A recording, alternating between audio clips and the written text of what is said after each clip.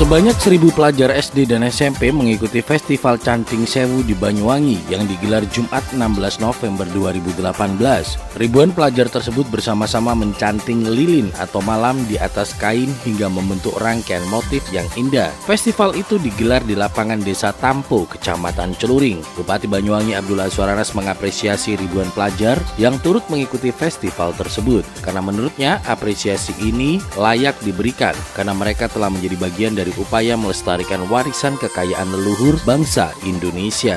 SMA, anak-anak sudah punya uh, bakat dan bisa melakukan kegiatan-kegiatan entrepreneur berbasis batik. Begitu juga nanti di Karanggoro dan juga di perkebunan, kita dorong dalam minggu ini kepala-kepala sekolahnya untuk menyiapkan entrepreneur kopi.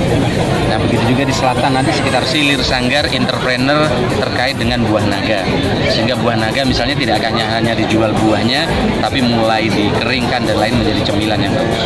Sehingga entrepreneur yang kita dorong adalah entrepreneur yang berbasis agro dan juga entrepreneur berbasis keterampilan. Keterampilan yang kita pilih.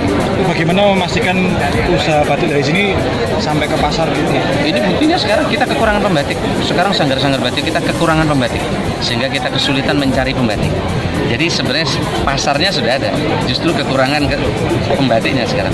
Pencantik batik kekurangan. Ada karakteristik yang membedakan Pak antara batik dengan sini dengan daerah lain? Sudah ada 40 jenis batik. Kan nanti ada batik gede kan ya? Itu juga jurusan SMK Pak bisa diperkuat lagi Pak jurusan membatik. Lu sudah ada jurusan batik di Karanggoro. Sekarang santri-santri mereka sambil mondok kegiatannya membatik dan batiknya sudah dibeli oleh pasar. Jadi tidak ada pembatik yang nganggur.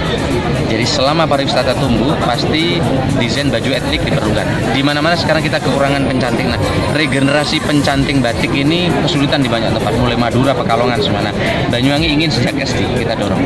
Bupati Anas menambahkan, Desa Tampu merupakan salah satu sentra batik. Di desa ini terdapat sekitar 150 pekerja batik yang tertampung di 6 UMKM batik. SD dan SMP yang berada di sekitar Desa Tampu juga telah memasukkan batik dalam kurikulumnya. Bagian dari pelajaran seni, budaya, dan keterampilan atau SBK, seperti di SDN 2 Tampu, di mana tiap siswa dari kelas 4 hingga 6 SD mengikuti pelajaran membatik tiap pekan. Untuk itu Bupati Anas menginstruksikan agar semua sekolah untuk melakukan apa yang telah Desa Tampu terapkan. Festival Canting Sewu merupakan rangkaian event Banyuwangi Batik Festival yang didedikasikan untuk mempromosikan batik Banyuwangi sekaligus mentautkan pembatik lokal dengan industri batik nasional. Banyuwangi Batik Festival digelar Sabtu malam 17 November 2018. Alfian Firdaus melaporkan.